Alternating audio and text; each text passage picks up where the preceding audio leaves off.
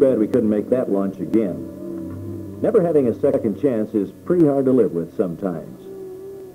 As a quality control manager at Martin, it's hard for me to understand why some people don't realize that every item of a missile or space vehicle is of utmost importance.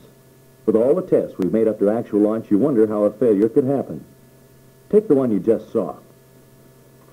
At liftoff, a stage one hydraulic line fitting failed. There was a loss of hydraulic pressure. The engine went hard over.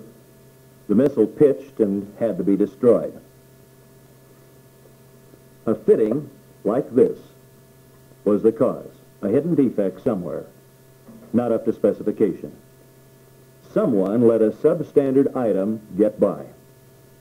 Oh, it passed the acceptance tests all right, but when the chips were down, it failed. A missile was destroyed. Our nation lost prestige, and the reputations of the Martin Company and your own company were damaged. I wish I could say that a spy had gotten into the test area and damaged this little fitting, but it wasn't a spy. It was one of you. If you're one of the 6,900 suppliers in this program, it was one of you. Oh, the failure may not have been all your fault. There were contributing factors. But it could just as easily have been the only cause for such a failure. All right, so this isn't your product.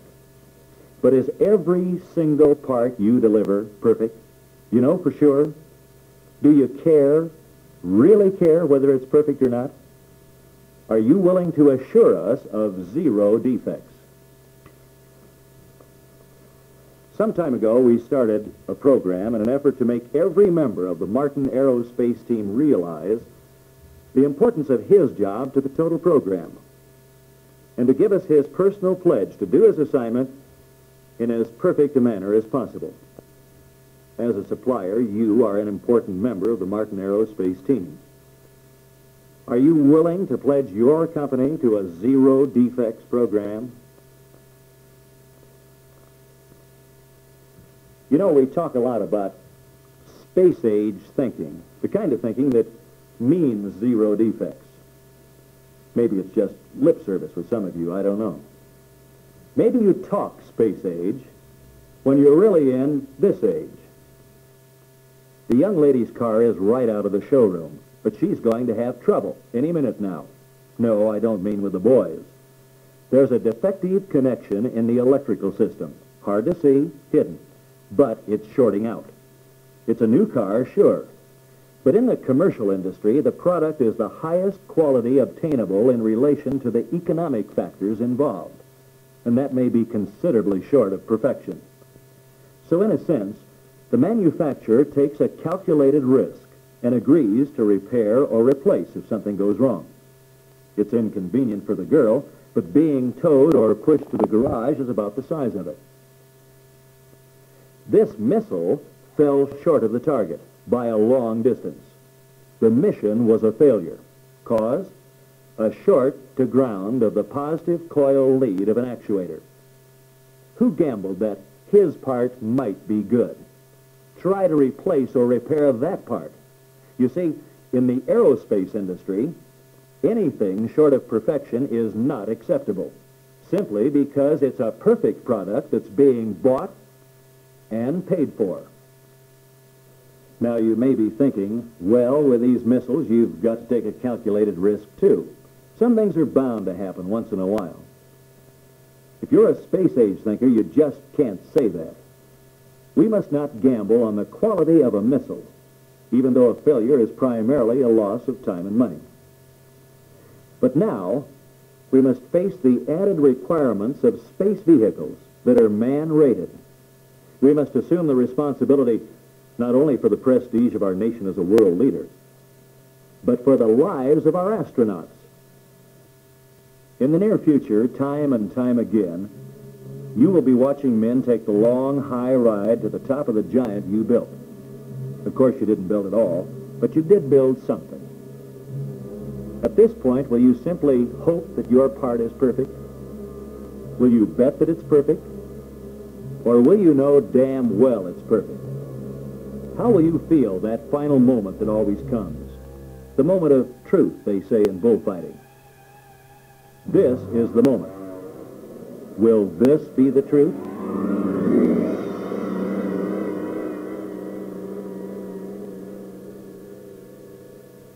Of course, that must never happen. And it will never happen if each one of you decides right now that zero defects is possible. Yes, right down to the packing case your part comes to us in.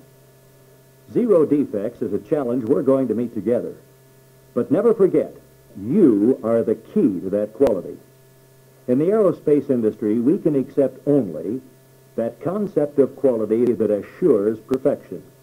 This means that a product must be able to repeat performance tests enough times to assure a real margin of safety. This is reliability in its simplest form. Consistent performance repeatedly. How to get this required performance is embodied in the contract you signed. Let's go over some of the main ideas. Really look at it for once. No, not the legal stuff, but the basic specifications. When you signed that contract, you became a part of the Martin Aerospace team.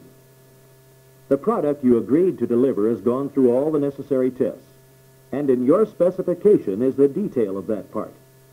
We are sure that if every part, every unit, every system is up to specification, we are sure that our product will perform exactly as planned every time.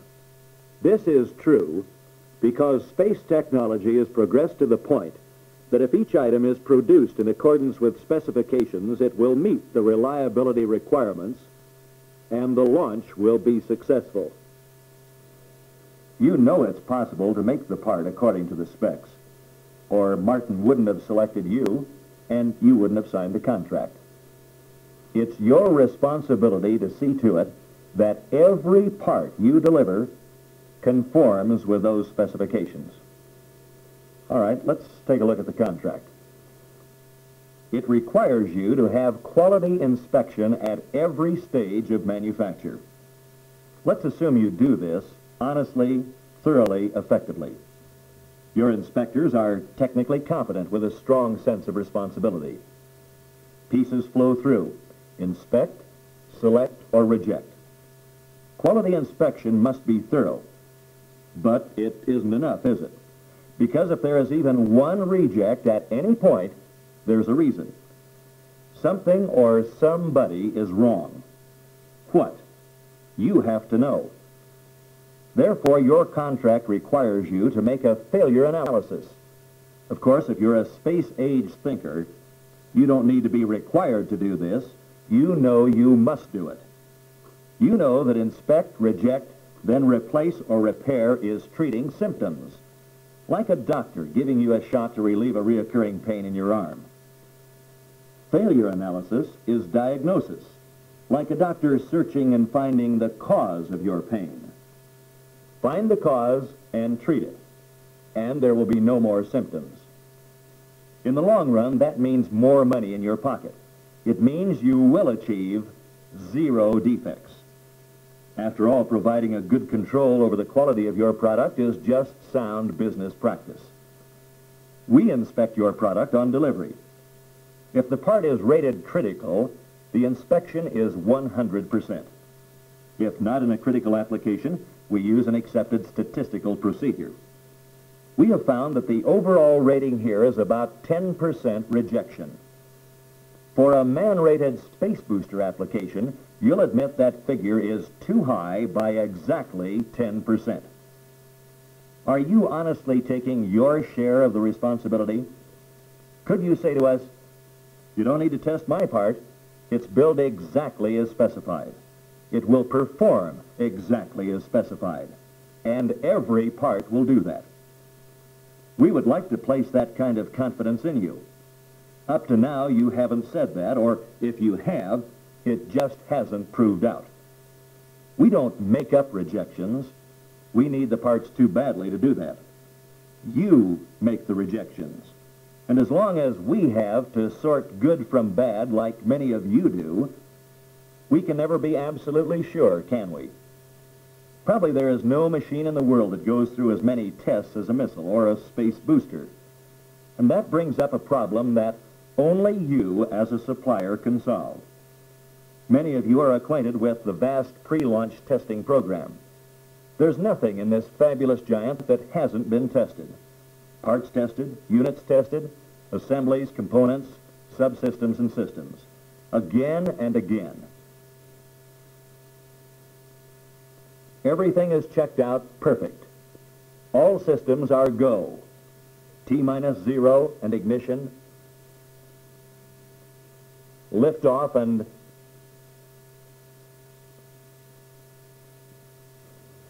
if not an explosion, perhaps a mission not accomplished. How is this possible? It's possible because there was a defect. You see, everything was accepted because it performed according to specifications in all the tests. The word to think about is performed. Acceptance tests and other functional tests can't tell us very much about how a particular part is constructed. Cannot tell us how long it will function cannot tell us when some hidden defect will cause a failure. For example, look at these diodes. They're in a critical application. Both of them look alike, and they both test out as up to specification. But inside, they're different. This is perfect. This is not. Why aren't they all like this? Or, take this transistor.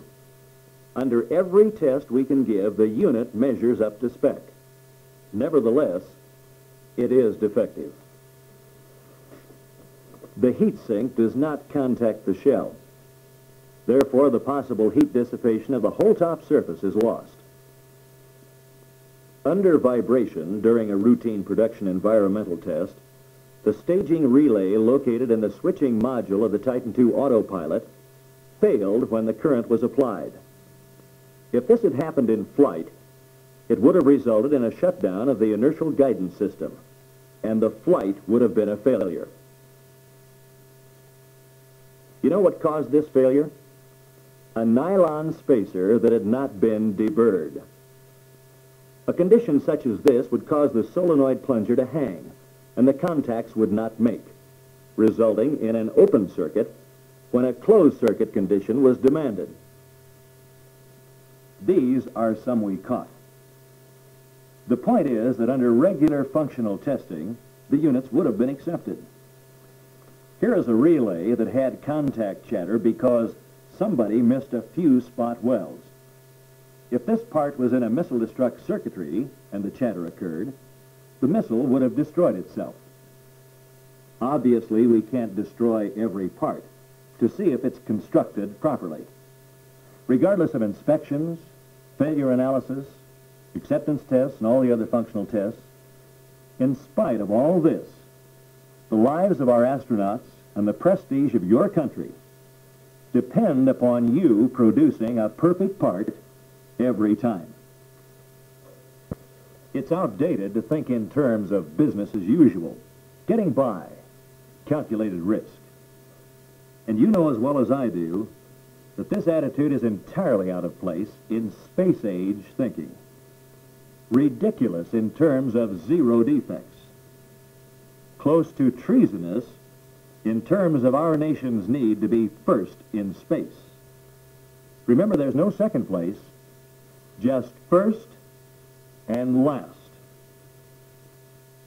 This room at Martin is surgically clean.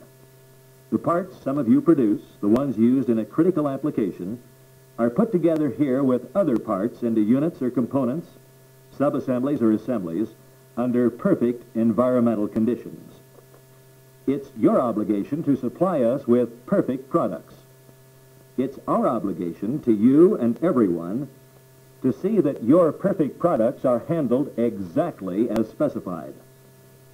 Zero defects must not be just an ideal or a probability, even a possibility.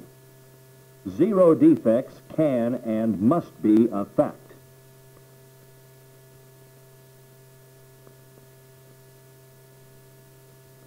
This is a sophisticated and powerful vehicle we have created.